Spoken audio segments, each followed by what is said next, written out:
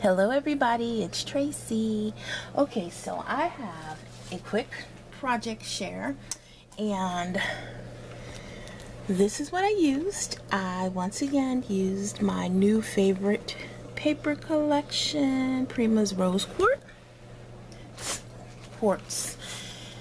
And um yeah, so I decided that I love this paper so much I wanted to use it again and I wanted to make a bow card.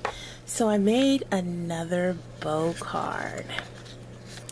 And of course it sits up like that. And um, this is the inside, which I forgot to line it, but that's okay because the main part is the outside. And I love it. I love it so much. I wasn't going to do a video on it but I figured why not? I can do a quick video.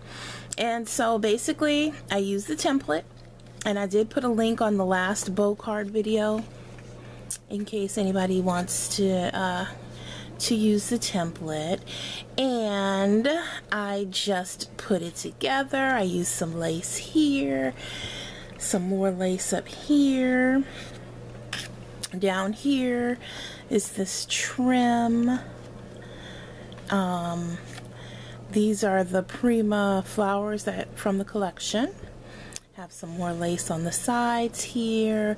The flowers came uh, with the glitter on it, but I added more stickles as well as stickles to these little, uh, I believe these are I Am Roses flowers there. And then I have some feathers here. And I added some um, pearl sprays that Letty gave me in the swap I did last month. So thanks, Letty. And then I added some gray pearls onto the ribbon here. So yeah, that is my card and I love it. And thank you for watching. Um, I told you it was going to be a quick one.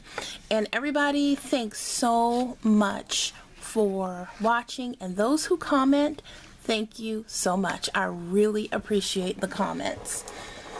And um, yeah, so everybody have a great day. And I'll see you next time. Bye bye.